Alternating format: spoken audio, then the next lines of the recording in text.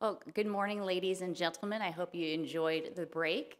I'm Sandy Mole, Executive Director of InfraGard National, and it's my pleasure to introduce your next session on a topic that's certainly a focal point of our organization.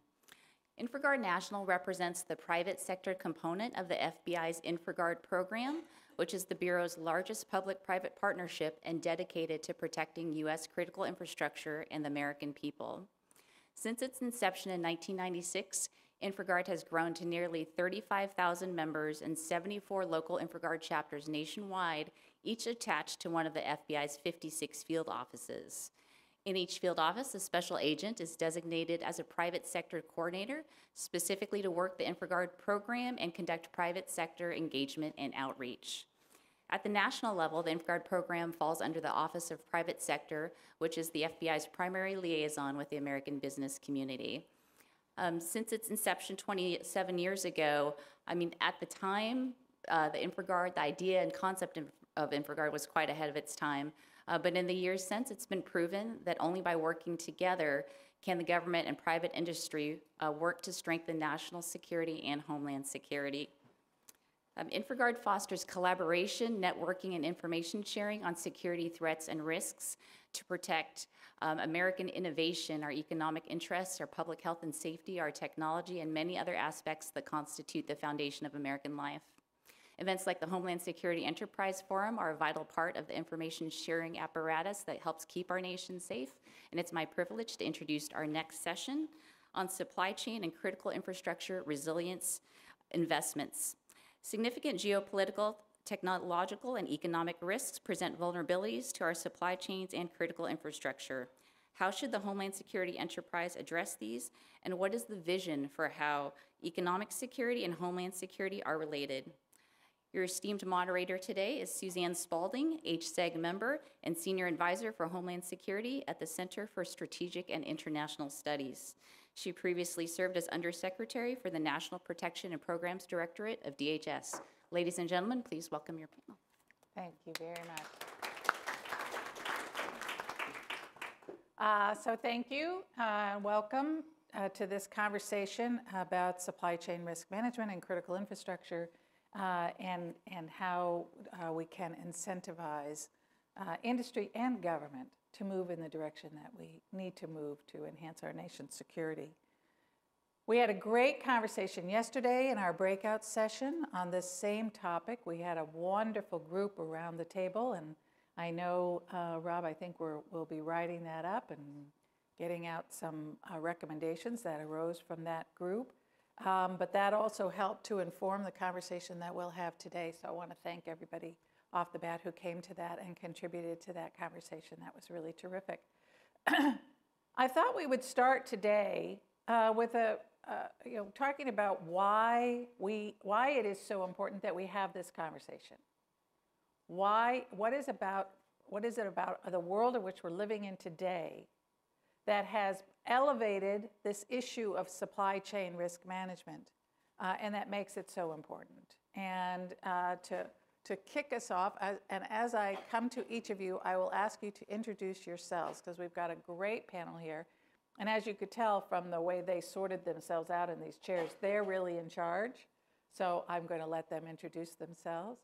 But Moshe, why don't you start, uh, introduce yourself, and then give us a sense of the context in which we're having this conversation. Yeah, thank you so much, Suzanne. So I'm Moshe Nelson. I'm a partner at Guidehouse in our defense and security practice.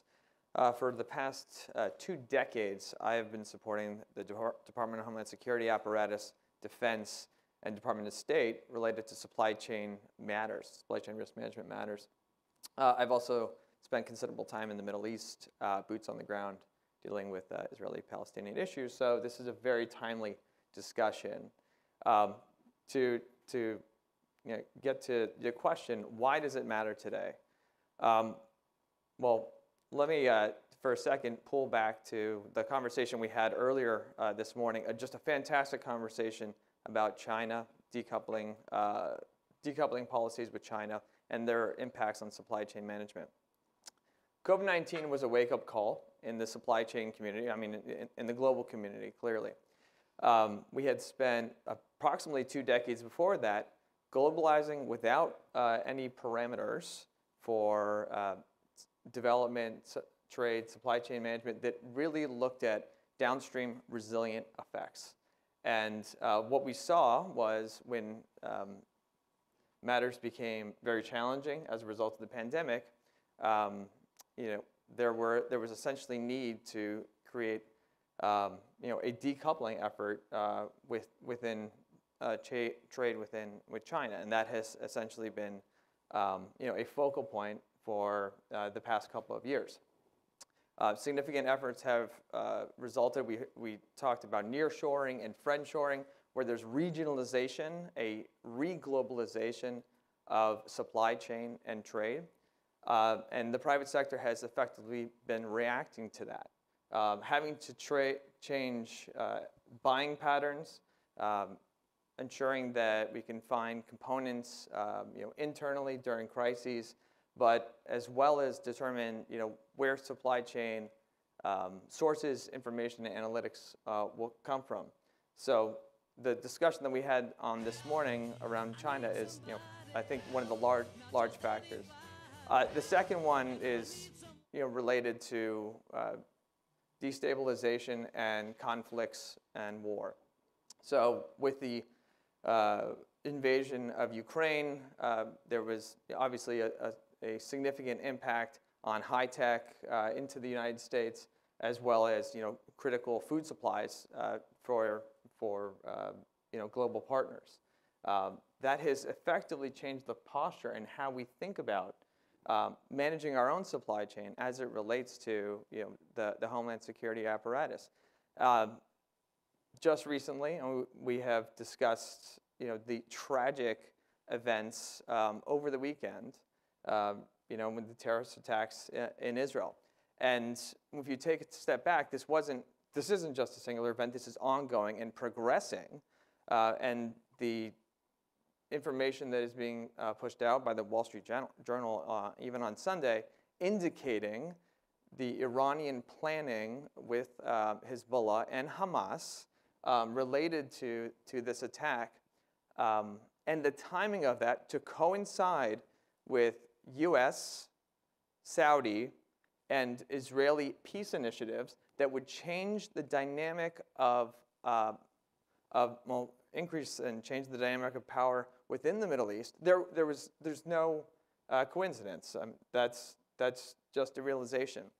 And when we pull that back to supply chain risk management and understand if that was the genesis of this heinous attack and the uh, increase of velocity of um, the, the, the fighting um, and atrocities in the Middle East, then we can need to expect the downstream impacts on our supply chain, which will principally be in that region the effects on uh, obviously crude oil. Now, the, the peace agreement that the US, um, Israel, and Saudi Arabia were uh, undergoing would have created you know, more military security for the Suez Canal, uh, for um, the Strait of Hormuz, and uh, the Gulf of Oman. And that effectively shores up uh, supply chain efforts.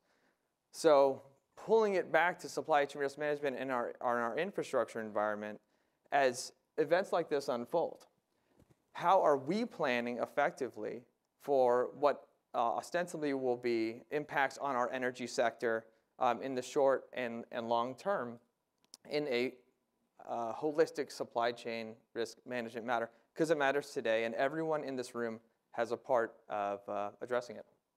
Yeah, great. Uh, very comprehensive, Moshe. Thank you, and very scary.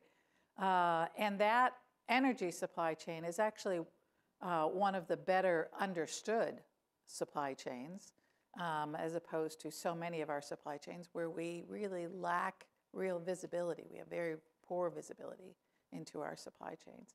Um, Bob, what else uh, have you seen, perhaps not quite as recently, but over the last couple of years, that has elevated uh, this issue of supply chain and, and made it so important? And then, you know, you're probably the most recent to have been in government, and you're certainly looking at it from the outside. Give us a sense of how well situated we are, particularly from the government's on the government side Sure. uh, to be addressing these issues and the issues that are going to be quite urgent. Sure. Um, thanks, Suzanne. Um, for those of you I don't know, I'm Bob Kolasky. I'm Senior Vice President for Critical Infrastructure at Exiger, which is a supply chain risk management company. So, as I said yesterday, I think I'm at the right panel at least, uh, talking about critical infrastructure and supply chain. Um, we, we are trying at Exiger to build the best models and sources of data and analysis to understand how supply chains work and sources of supply chain risk, to illuminate supply chains and sources of risks within that. Um, and deploy that to support government and, and commercial clients. We, we support uh, parts of DHS, a lot of the Defense Department and the like, but also commercial clients to, to get the kind of supply chain transparency you need to address the issues, um, the, the macro geopolitical issues that Moshe was talking about. Um, and so, so as a pivot to your question of why is this a homeland security conversation, in, in my, my experience, you know, I think Suzanne, we're, we're going to talk about critical infrastructure security and resiliency policy and PPD 21 in a little bit. But 10 years ago, when we were um, helping, when, when the President Obama released PPD 21 and we were helping write the National Infrastructure Is that really 10 years ago? Yeah.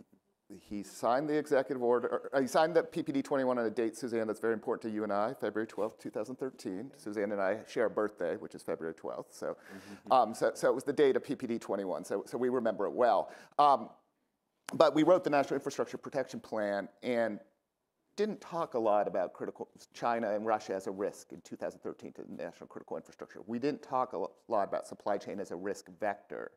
It, you know, it, it was something that contributed to the risks, but, but it wasn't a particular risk vector. And if you look, you know, one of the reasons you have to update PPD 21 right now is because the macro risk condition to homeland security in, in our critical infrastructure is now driven substantially by, by nation states and by nation state econo- economic activity. And supply chain enters as not just an enabler for critical infrastructure, but also as a, a risk vector and a source of critical infrastructure to, to some extent. And that's Source that's of critical infrastructure risk.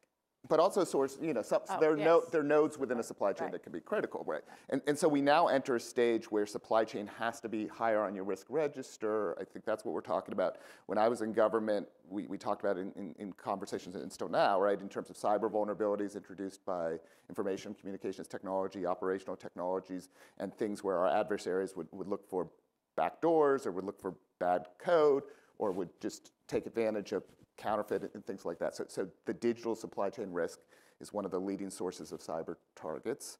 Um, Dan, Dan's going to talk a little bit more about sort of operational supply chain risks. And in the middle of a disaster, going back to, we, a lot of us lived through Katrina, going back to things like Hurricane Katrina, where supply sources were no longer available. And if, if you didn't put the supply chain back together, critical critical services, critical assets, critical technologies couldn't get to where they needed to be, and communities were, were at risk. So you had to think about supply chain restoration as an, and, and the operational issues as a homeland security issue, and then there's the, the geopolitical type events that Moshe was talking about, and, and particularly, um, you know, what, what I lived through, certainly helping understand supply chain risks in the context of the pandemic and, and what critical functions might be challenged by that. So, so I, I, in DHS, I, I thought about supply chain from a operations, a cyber, and a, and a sort of contingency, geopolitical or, or man-made or natural disaster contingency things. Then you layer on other things that can happen to impact su- supply chain, port closures because of um, labor, labor strife, right? Port, port closures just because of overwhelming of the way that shipping patterns start, start to work. Um, you know, regulatory changes, the, the baby formula um, experience that, that, you know, a lot of new families lived through about a year, year and a half ago of, you know, there was a regulatory shift, there was a risk in a baby formula plant, something that became really important. The, you, know, you know, something be, that became important was suddenly unavailable. And those things, you know, aren't homeland security issues, but they become homeland security issues. And so grappling with what it means to stay in advance of anticipating what could happen, what supplies are important, what supply chains are important, and what can happen to disrupt them, and proactively thinking about ways to de-risk some of those supply challenges is all part of what I, what I would say belongs in, in our national homeland security strategy.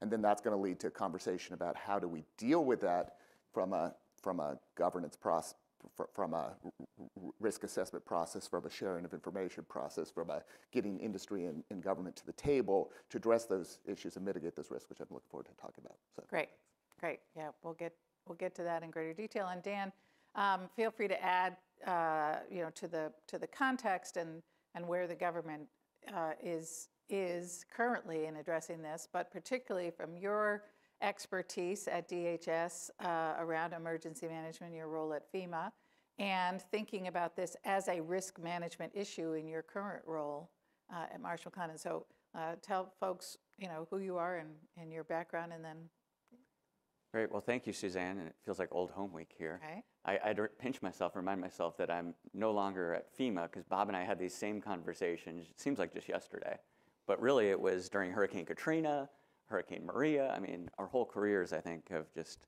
uh, we've been focusing on these issues. Anyways, Dan Kaniewski, Marsh McLennan, Managing Director of Public Sector. Uh, Marsh McLennan is the largest commercial property and casualty insurance brokerage in the world. So we help big companies get insurance.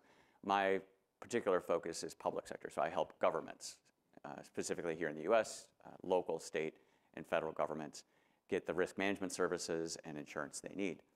As was mentioned, my previous role in the past administration was as deputy administrator at FEMA. I specifically oversaw resilience. And I think that's really the, the, the key issue here from my perspective is, is resilience. We had a great discussion yesterday in the breakout session that Suzanne led, talking about how resilience applies to supply chain, and obviously it does. I mean, every, every one of these disasters we've seen, certainly the catastrophic ones we've seen, it tests the resilience of our supply chain. It tests the ability of our supply chains to provide the private sector as well as the government with the resources it needs, especially during times of stress, right, which includes disasters. So when I think of resilience, especially in the emergency management context, it was something you know, I'm very proud I put in place at FEMA, which is FEMA's focus on resilience, which uh, today I think you know you see this administration they've doubled down on that idea. I mean, it wasn't too long ago that, eh, frankly, all of uh, for all of FEMA's history, it was thought of as the disaster response agency. It was thought of as the agency to government, to state and local governments, the one that reimburses them for their disaster losses. And to be a little more blunt, it was known as the federal government's ETM, ATM. And so the federal government's ATM is now transformed into what is truly, I believe, a resilience agency. It does so by focusing on an all hazards approach to emergency management. So it really doesn't matter what causes the disruption to the supply chain or the disruption to an individual disaster survivor or to a government. All that matters is that we need to bounce back, we need to uh, withstand, obviously, that stress and bounce back really as quickly as we can. And so focusing on areas like preparedness and mitigation and insurance will ensure that there is resilience when a disaster occurs. The same thing can be thought of in the private sector. And Suzanne, to your point about being a risk manager in the private sector, those are still key issues. We may call them different things, right? We have different terms, we may focus on them differently, but the implications are the same. If you're not prepared, if you haven't mitigated your risks, if you don't have insurance, then your organization is going to be more vulnerable. So if you look at Hurricane, uh, you mentioned Katrina, let's talk about Hurricane Maria. That's about when I started at FEMA. FEMA had endured not just one catastrophic disaster, but three back to back disasters in 2017 Harvey, Irma, Maria. So by the time I got there, not only was FEMA maxed out, the workforce maxed out, but quite frankly, the supply chains were maxed out. And I'll never forget that we tried to source anything we could, whether it be food and water and generators. And the head of logistics at FEMA came in and saw us in the administrator's office and said, You're never going to believe this, but we're out. I said, Out of what? And he goes down this long list, right? How do we run out of these supplies? We had, we had planned for the worst case scenario and we had exceeded it? How's that possible? Well, it's because the, the stockpiles had been depleted from Harvey and Irma. And by the time we had another catastrophic disaster like Maria, we just didn't have it on hand. And I said, oh, this is no problem. We have contracts for this. We have contingency contracts. We go to the private sector and they provide, they source that. And the head of logistics said, already did that. They're out. That was incredible to think that we maxed out some of these critical supplies, that there really was nothing left in the hopper. Well, the ways we worked around it, we ended up finding other, other contract vehicles. We raised, and this is very inside the Beltway, we raised the contract ceiling on a number of contracts to the point where we never ever had anticipated needing to do so. In other words, we need to put more money through those contracts than we had ever planned out in a worst case scenario. So I thought that was the worst case scenario, right? So we went for the worst case scenario before Maria, then Maria was the new worst case scenario. Well, then what happened? 2020 rolls around, this, this thing called a pandemic, which stresses these beyond anything we ever could have imagined. Instead of having a disaster in, you know, successive disasters in three states, three areas, we had it in 50 states simultaneously. So there was a new worst case scenario. So anyway, my point is you can only prepare so much and you can only think so, I mean, it's, it's, it's almost like what's in the art of the, you know, the imaginable. It's really probably worse than you think and you got to plan for that truly worst case scenario. Yeah, so Moshe, um, I'm going to ask you to uh, give some thoughts on how you institutionalize the kind of agility that that is necessary for uh, dealing with the unanticipated, right, the Sure. unforeseen. But um, but before we do, I want to I just want to um, foot stomp uh, and thank you, Dan, for really emphasizing that notion of resilience, right, as a as a critical piece of risk management. I was so pleased to hear Heather Adkins from Google yesterday up on the stage talk about the fact that in, in the context of cyber, that we don't, we still don't put enough attention and planning and resources and effort on resilience. We use the word a lot more now. It appears in a lot more of the strategy documents. And it was certainly one of the pillars on the Cyberspace Solarium Commission, on which I had the honor to serve. Um, but, the, uh, but, but in terms of really devoting resources to it, it is still in that classic risk management formula where you assess risk as a factor of threat, vulnerability, and consequence. We still are putting overwhelmingly our attention on threat and vulnerability and not nearly enough on understanding the consequences. Uh, and resilience is all about understanding those consequences and then bringing your enterprise together to brainstorm on ways to mitigate those consequences. Not that you do that in lieu of prevention, but that you, it's got to be part of your continuity of operations planning, part of your mission essential functions planning. Um, so I, so I, I want to hear about how you uh, can assess, so that assessment piece, right, which is understanding those consequences requires greater visibility into your supply chain. How do you achieve that? Um, how do you change your risk calculus depending on the context? Right? We talked Sure. a bit about that yesterday. Um, the, the baby formula that is not on Homeland Security's radar screen and probably shouldn't be in a normal circumstance um, suddenly becomes, and your risk, you've got to now assess risk uh, assessments that put certain policies in place. You've got to reassess the risks, right? The risk calculus needs to change. And how do we inform that? How do we make sure we've got the things in place that we need to have the agility to both plan for the things we can foresee and address things that we can't?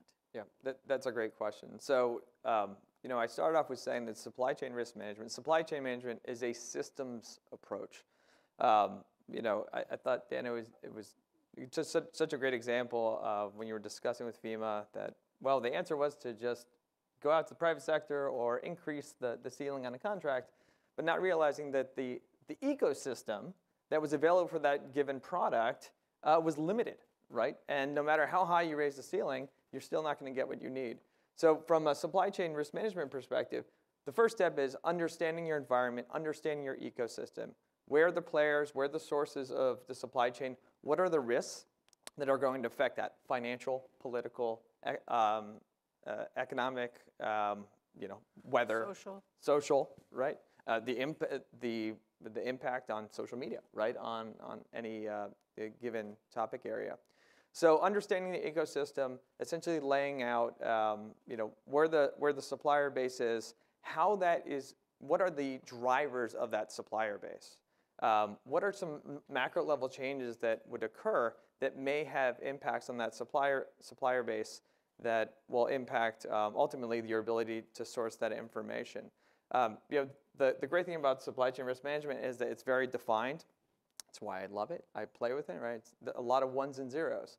So it, as soon as you map out the supply chain and understand uh, the players doing you know, due diligence to predict what the need is. And we talked a lot about yesterday in our, uh, in our discussions scenario planning, particularly with the critical infrastructure working with government, and this is the ideal state, to run scenarios in which you know, we can predict what is the worst case scenario, what's the, the conflict we're not thinking about, what's a major piece of legislation that's going to be put in place that will then affect Apple setting up um, manufacturing centers in Mexico for iPhones, which will then have a downstream impact on the Port of Mariposa um, and NII. And what will that impact have for security as people are trying to smuggle uh, goods through those, those services, ergo, back to our critical infrastructure?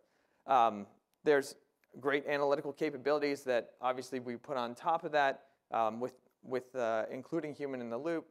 So, you know, running the analysis, running these scenarios from a quantitative perspective, use, utilizing, you know, uh, very effective softwares in the marketplace, um, and then essentially stacking those risks and mitigation strategies so that you can um, effectively, you know, take action.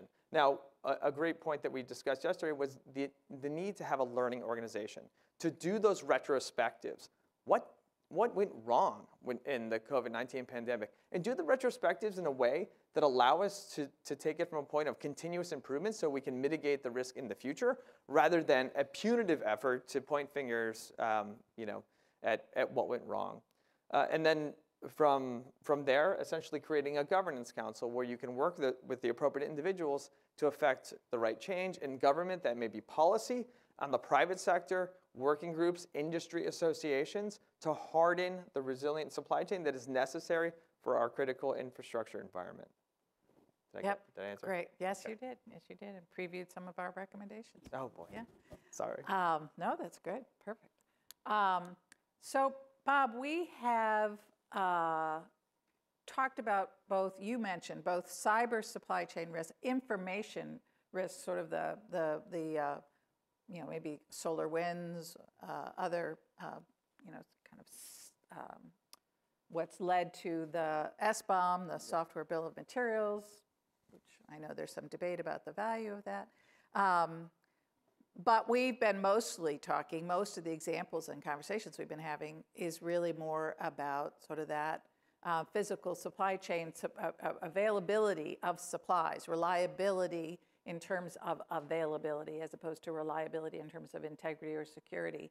Um, PPD 21 definitely took an all hazards approach to the resilience, security and resilience of critical infrastructure across cyber and physical. When Congress created CISA, despite the fact that people think it's just a cyber uh, security agency. They chose to continue to give it that all hazards mission. It is cybersecurity and infrastructure security, and I wish it had the word resilience in it, um, agency.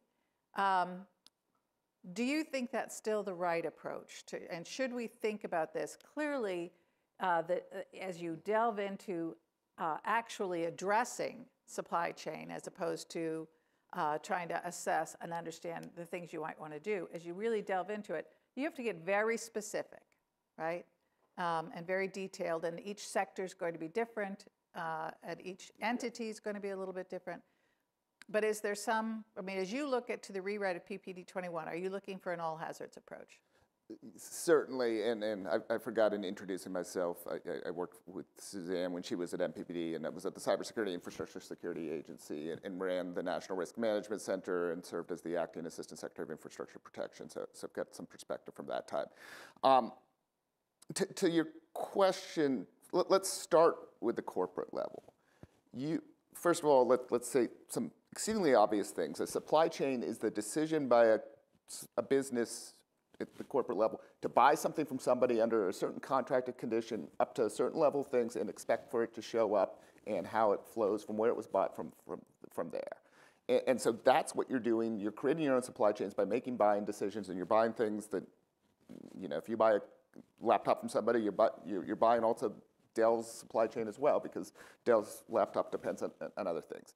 And at a corporate level, to your all hazards question, you want, and, and, and certainly we see, you, you want the supply chain office and the acquisitions professional and the chief risk officer to sit and say, is that thing going to show up at scale at the price that, that I, I bought it for, right? And, and that's And be, and be the thing I bought. In other words, Yes. uh, Be- getting be to the thi- integrity. Be, be the thing I bought. Do I have confidence that w- it will be available? Do I have a contingency plan if something happens where the factory or the shipping channel I bought it from? And have I planned for all of those things?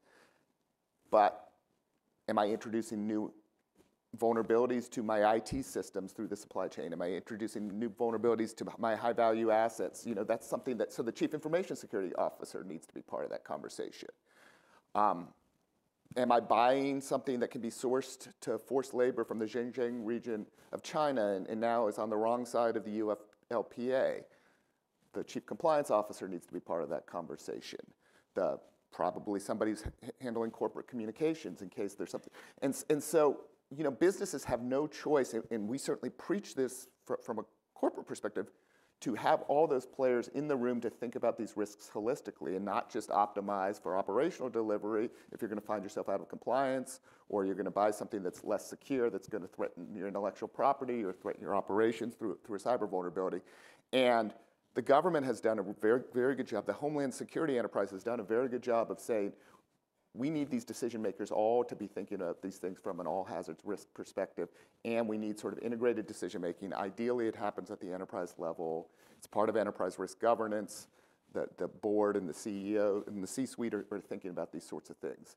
So, so th- that seems to me to be fairly obvious, and you know, it's difficult to balance risks against things, right? It's difficult to balance cost, performance, schedule, and security, but, but it has to be done.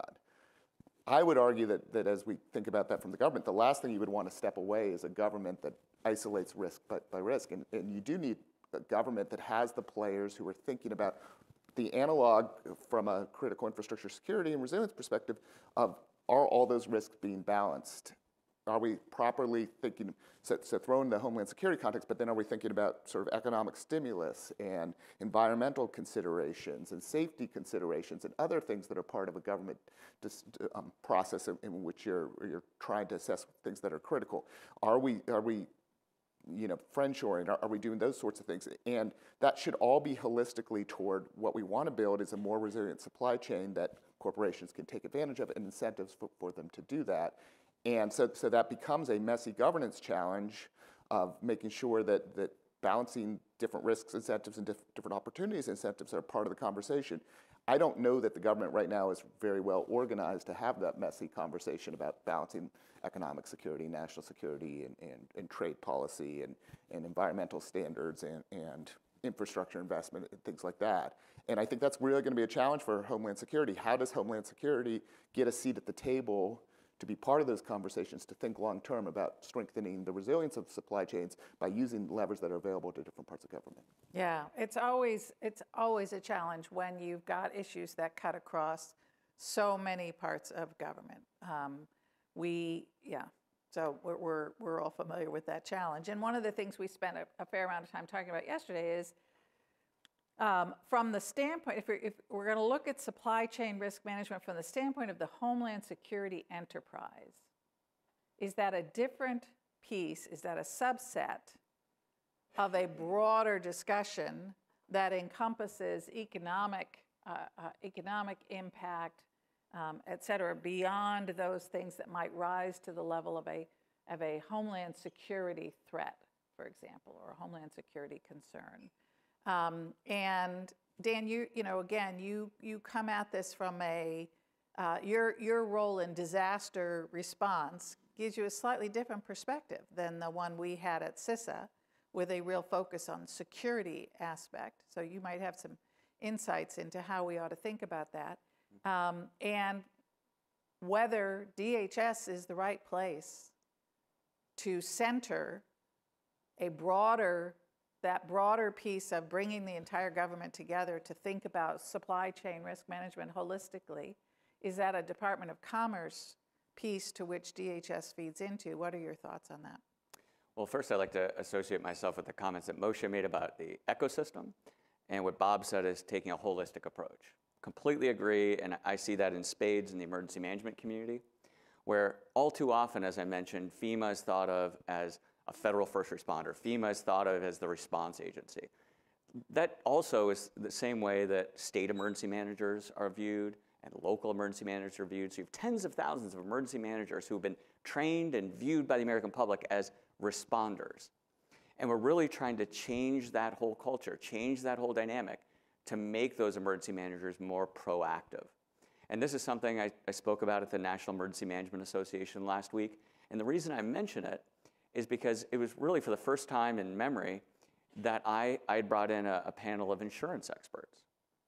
And you think, oh, of course, emergency management insurance, there's some the synergies there are strong. We're seeing, obviously, what's happening with um, insurers leaving some states where they're at particularly high risk. But believe it or not, in the steady state, even though we say all the right things in emergency management, we're all hazards, we plan, we prepare, we insure, we mitigate, those conversations weren't happening between the insurance industry and emergency managers. So what does it take? It takes a, you know, it takes this major event, uh, which is insurers leaving these high-risk states, with emergency managers suddenly being thrust into the responsibility of managing this risk as a public risk instead of a risk that was otherwise managed by the private sector.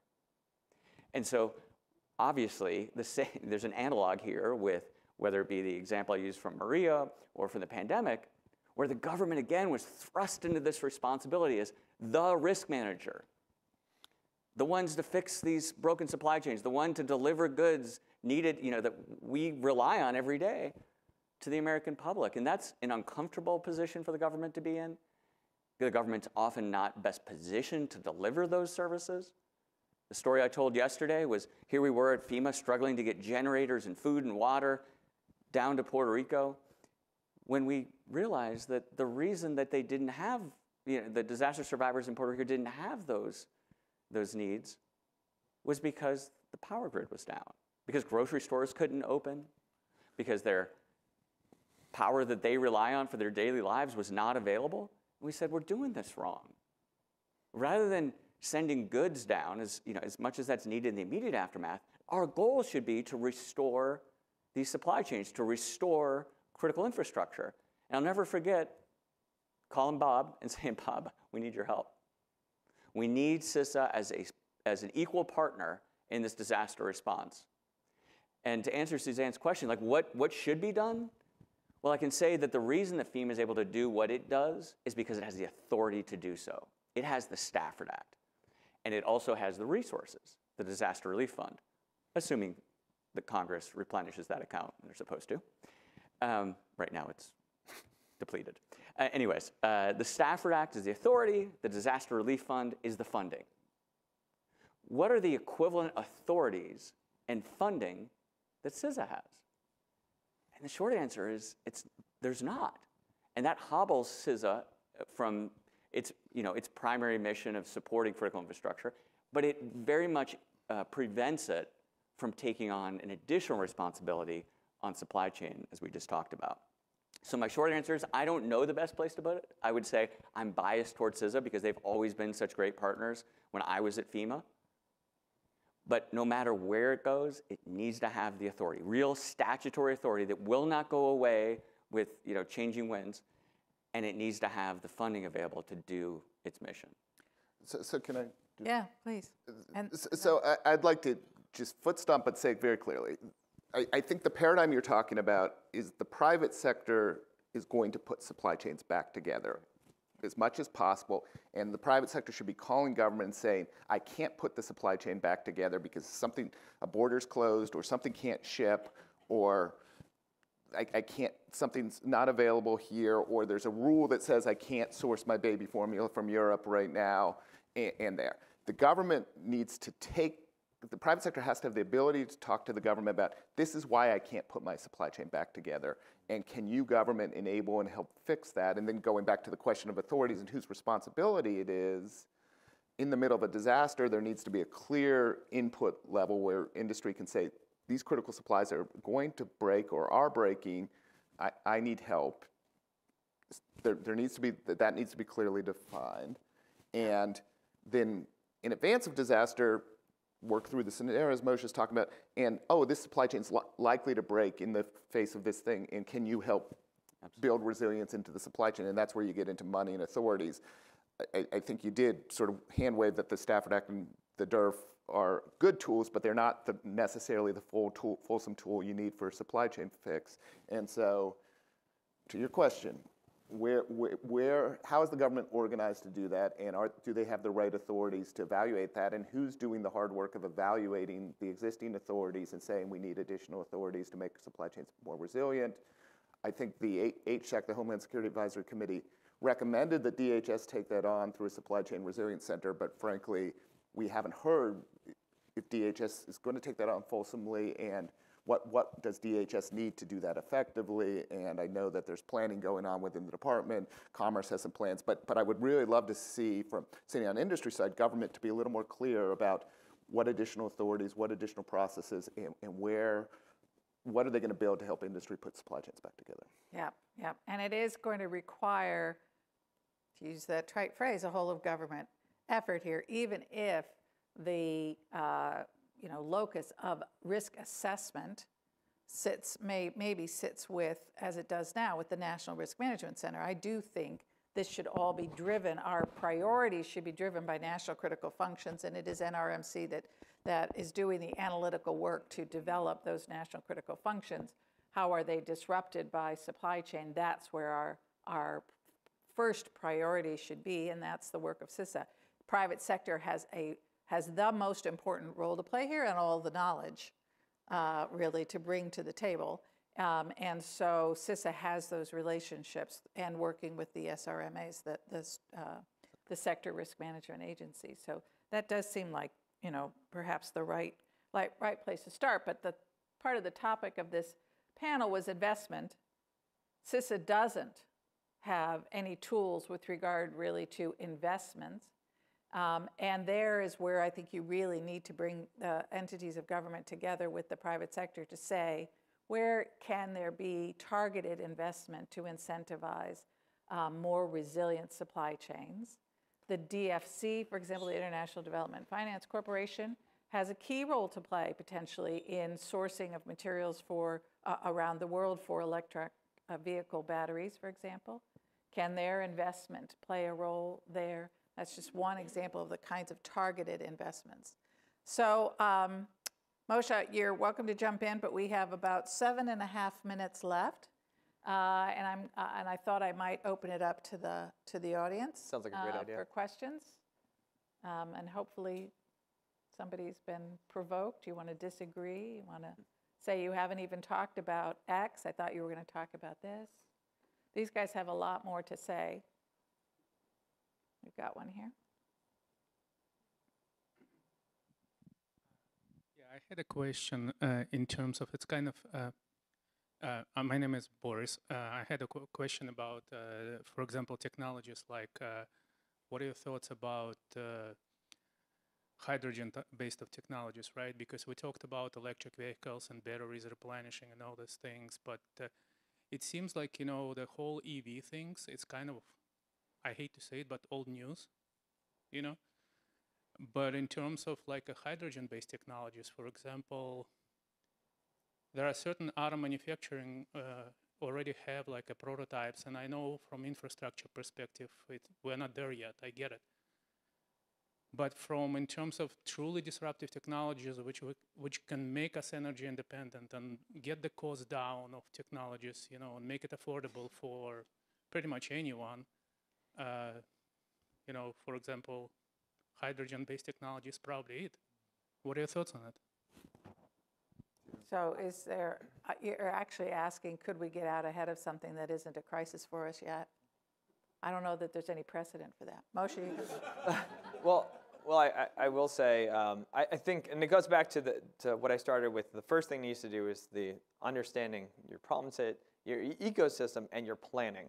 So if, if hydrogen are is one of the alternatives in your scenario on how to you know, essentially effectively um, you know keep energy uh, excuse me power going within critical infrastructure, then uh, determining what's the supply chain to get there. And, and you, I understand in Ukraine, right? The, in some of the, the ports that, uh, that exist on the seaports, there were uh, hydrogen um, uh, usage as part of that uh, essential operation. So it's, there has been precedent set. This is a wonderful topic because there are innovations that are occurring globally, and it's about targeting you know, that alternative uh, as it relates to your ecosystems of alternatives for scenario planning. Yeah, I, I mean, you, you joked about getting in front of a crisis, but, but it's, it's worth talking about, right? Hydrogen, other ways of clean energy, um, electrification, other ways of energy innovation. That, that's all at the core of the, um, the, the Infrastructure Investment Act that, that passed a couple years ago. The Department of Energy is getting a lot of money to stimulate alternative sources, but to what said, let's make sure that in doing so, there's going to be sufficient supply to take advantage of it, and there's not new risk introduced through new technologies. And, and like, you know, I, am familiar from a cyber perspective that some of the, some of the concerns with some of the solar companies, for example. So, so if we're going to make things more critical through innovation and allowing and enabling and incentivizing innovation, let's, as you suggest, Suzanne, stay in front of what is the thing that's going to be more critical and have we anticipated that risk and maybe built built risk mitigation in at the beginning rather than wake up and, and all of a sudden, you know, we, we constantly wake up and the world's changed and we're like, oh, shoot, the world's changed and there's new risk that's been introduced. We, can sort of anticipate some of the ways the world's changing and, and try to stay in front of the risk. And, and I, I think this is an area where, where better analysis is needed. I, I agree. And as you heard me say, I mean, disasters have a funny way of revealing the weakest link in the supply chain, right? So being able to test that, stress that system prior to disaster is obviously going to be better. You don't want to find out in the middle of a disaster that the critical facility for hydrogen is in this location and 80, I'm making this number up, but 80% of the hydrogen available to the United States is in that facility, which is not operational. And something very similar to that did happen. Uh, it happens in almost every major catastrophic disaster, but there are certainly several examples of that in Hurricane Maria, where there were supply dis disruptions not just for the disaster survivors, which is FEMA's primary uh, focus, but also the disruptions to the American public, which is CISA's primary focus. One of my one of my ideas in government that I never got done was to actually create a net assessment of the future of infrastructure, because I, I think that's an answerable question. What's infrastructure going to look like 20 years from now? And actually pay for th that kind of thinking and then stop and say, okay, if this is how we think infrastructure is going to emerge because of technologies and availability of certain things, what risks have been introduced? And, and that kind of long-term thinking about infrastructure is it being brought into security. Yeah, and that kind of analysis can inform these investment decisions, right? So as we move into emerging technologies, there, we're, increasingly, as a country, getting comfortable with, I still put small i, small p, industrial policy uh, and, and, and around trying to have more reliable supply chains, et cetera. Can we build more into those investment decisions, particularly by government, to, put that burden on the private sector to say, if we're going to invest in these emerging technologies, you must show us that you have considered supply chain, that you have engaged in supply chain risk management, that you have assessed it, and you have mitigated those risks, that you understand them. Um, that ought to be a predecessor to grants, to investments, to uh, contracts. We talked about that yesterday. Um, we ought to be, as a government, providing those incentives to the private sector. We have time, I think, for one more question or closing remarks from our panelists. Moshe? Sure. Um, well, thank you for the opportunity to speak. Uh, I, I think that this is such a critical time to be looking at supply chain risk management. Partnerships between industry and government uh, need to increase and strengthen. And we need to have a, an understanding of you know, what are the geopolitical challenges facing us today and what's going to happen tomorrow, two weeks from now. Middle East is a great example, and we shouldn't lose track of that. Yeah, to channel my inner Dan Kaniewski, planning and exercises around these scenarios and, and, to build up against anticipation. And, you know, I, I think we're at the level where companies and government as a whole have seen enough supply chain shocks that we can build a set of scenarios that are used. And I, and I hope across Homeland Security that's the supply chain aspects and, and supply chain scenarios in general are part of an exercise program and then lead to plans and additional partnerships and capacity. Yeah, and, and as Bob emphasized, for me, I mean, obviously from my role at FEMA, FEMA plays a supporting role to state and local governments. They support those other levels of government. They don't, there's no federal primacy on, federal, on disaster response. I envision this being very similar, where whatever agency it is, hopefully CISA, uh, is empowered to support the private sector. And there's private sector primacy, but there's federal support there when necessary. And I think that's key. And we should also not forget absolutely the government can incentivize good behavior largely through federal grant programs. But let's also not forget that the private sector can incentivize itself. And I'll close with the word insurance. Insurance can incentivize good behavior. All right. Well, if you get to make a shameless plug, I will make a shameless plug. For those who are really interested in this issue of resilience, uh, that my organization, Center for Strategic International Studies, a few months ago uh, put out a report on resilience that looked at the at the topic of resilience across critical infrastructure. Uh, I'm sorry, across climate change, across workforce, uh, supply chain. A brilliant chapter written by my colleague Emily Harding, and cybersecurity uh, and that's at csis.org. But I hope you will join me in thanking our brilliant panel uh, for a great conversation.